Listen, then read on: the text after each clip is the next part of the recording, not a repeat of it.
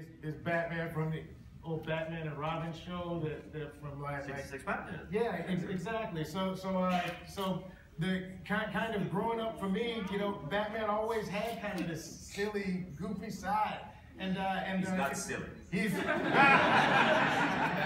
doesn't show it. He doesn't show it. But in the in the back rooms of the Justice uh, Hall of Justice, he's literally got a silly room.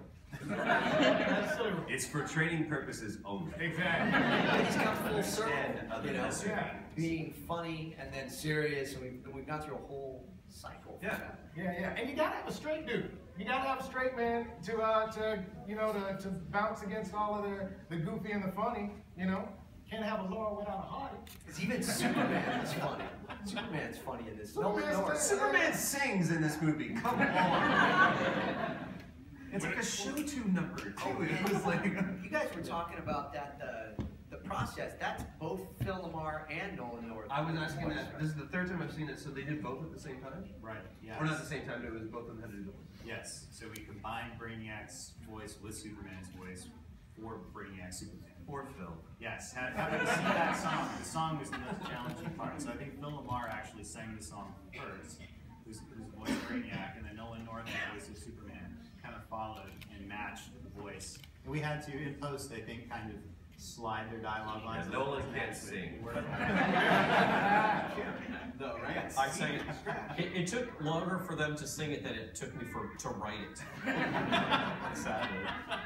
Yeah, if you don't know, Troy Baker and Nolan North are old enemies. Absolutely. Yeah. No, we're the best of friends, so we can always, you know, just kind of take stabs at each other. But uh, to the missing cast that's not here, I mean, what we have with Grey DeLisle, Nolan North, Phil LaMarr, uh, Spisak, Kari Wahlgren. We had a, we had an amazing cast for this, and it, these are all same thing as you guys. We're just a bunch of kids that this is. It's not us going to work; it's us going to play.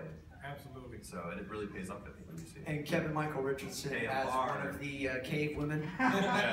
When he comes in, whatever will we do?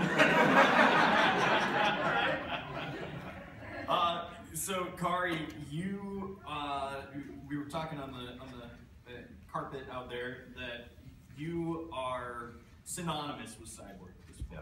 You've played Cyborg in action. You've played Cyborg in comedy. You've played him for uh, all ages, all audiences. Uh, what's it like tuning him a little bit differently for for each of these different iterations? Well, it's uh, it's, it's pretty easy because it was um, like I always say, you know, it was my first audition, voice voiceover audition in uh, in Los Angeles, and my first job.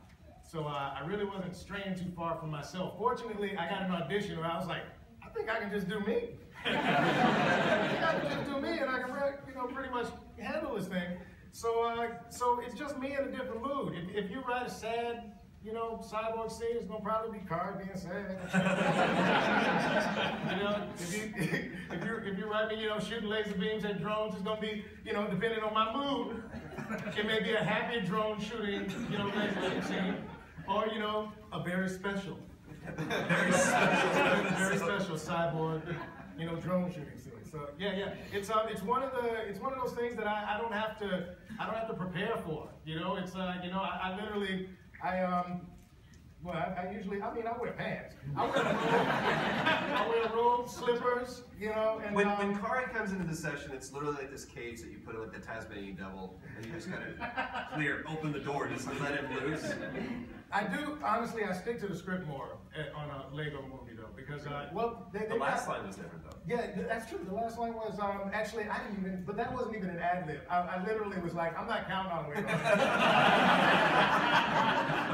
I, I didn't know. I didn't realize they were actually recording that. So, you know, I'm starting. You know, I'm starting at 50. And, uh, I'll just splice the rest in. And, uh, and there we go. We get the we get the butt. So you know. But, uh, but uh, yeah, yeah. I have trouble sticking to the script sometimes. You know, especially with Cyborg, because I, you know, because I'm, I'm always thinking, when I say it like that, I think I have the authority to say it. We, uh,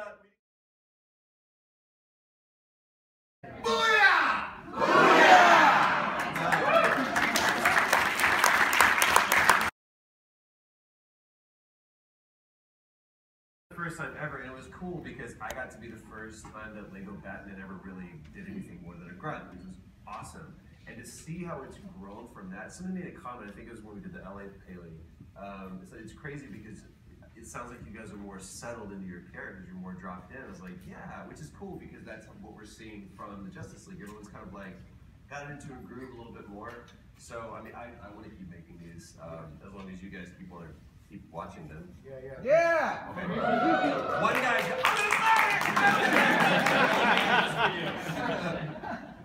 Got it? Well, hold on. We're gonna go right here. This kid's been very, very patient. What's up, buddy? Guy. Hang on, buddy. The microphone's coming to you. I don't need a microphone. Exactly. I'm six years old. What? Why did the Batman use the robot to fight Super Brainiac? Well, it was all for show. He- Sell toys. What's your name, buddy? Rowan. Rowan. Excellent. Uh, uh, Rowan, the answer is because Superman is super strong, and although Batman is formidable, Yes. he. Uh, what's his You still burning toast uphill? We need to get Jim to Uh, yeah, so he he need he although he's, he's very strong for a guy, uh, he's not as strong as Superman. So he needed it- it's not exactly a robot. It's like a suit that does whatever Batman does. But and, and, actually- and he wasn't really trying to hurt. Actually, Superman. the truth is, is that he it was he was tricking Superman. Yes. Because he wanted Superman to think that he wanted to fight it, but he actually just wanted wanted Superman to use ray beams to open up the uh, the, the bat safe. He wanted the yellow sun. Is that not I correct? didn't, Yeah, know, yeah, I no. didn't know you watched. I believe it was Kirkendars who first introduced the notion. All right, uh, my man up here in the orange hat. I teach a class at LSU. Of course, I'm looking at it. I'm Nelson. How does it feel like to be Batman and Joker? Very strange. very, very, very strange. Yeah, you may not know, Troy has also voiced the Joker. He's voiced Two Face. You're Yeah. all over the DC universe. Yeah, I've, I've, uh, there's a, there's a term for that, but we'll save that for another room. for, for me, I mean, this is, the, I remember the first time I, I walked into, I don't know if you remember, do they have Safeway here in the East Coast or New York? Yeah. Okay, grocery store. I walked into Safeway when I was six, seven years old, and the first graphic novel I ever bought was, was a Batman Origins graphic novel. And um, wasn't wasn't a big one, so it wasn't like one of the similar works. But it was the first real introduction that I had into graphic novels and understanding the story. So Batman, and especially the relationship between Batman and Joker, has been a huge part of the kid in me that's grown up with the adult that keeps trying to suppress uh, the kid.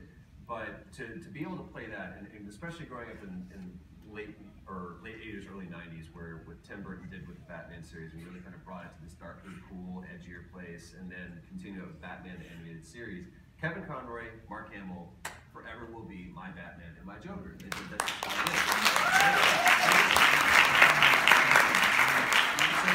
With this, if, if you'll listen, clearly, if you listen to what we did with Arkham Origins or Assault on Arkham, that's I wanted it to feel like it's a young Mark Hamill because I don't think I could do anything else. Whenever I read the comics, whenever I think about the Joker, what Mark did to me was not just the voice; it was who that character is.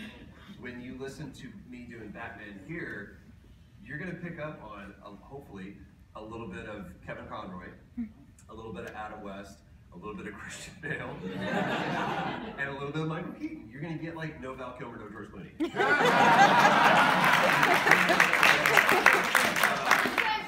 But it's, to me, this it's it's what I'm trying to do is really what I think all of uh, the Lego DC stuff is trying to do, which is take this huge buffet of, of almost hundred years now of, of comic book lore and, and stuff that has meant so much to so many different people in so many different ways, and just put them all together in a really cool, interesting, fresh way.